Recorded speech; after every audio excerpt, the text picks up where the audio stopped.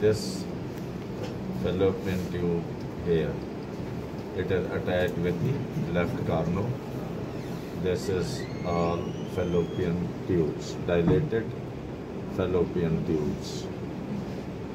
And with small amount of free fluid in the cul-de-sac here. This is free fluid, this one. So, this is a case of pelvic inflammatory disease.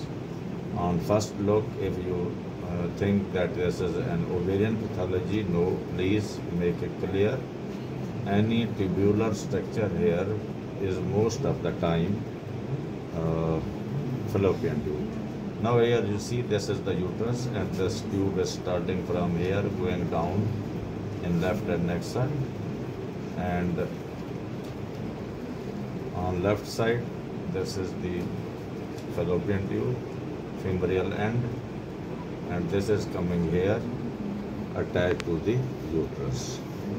The case is very clear I think uh, with the transvaginal probe we will not get uh, many information.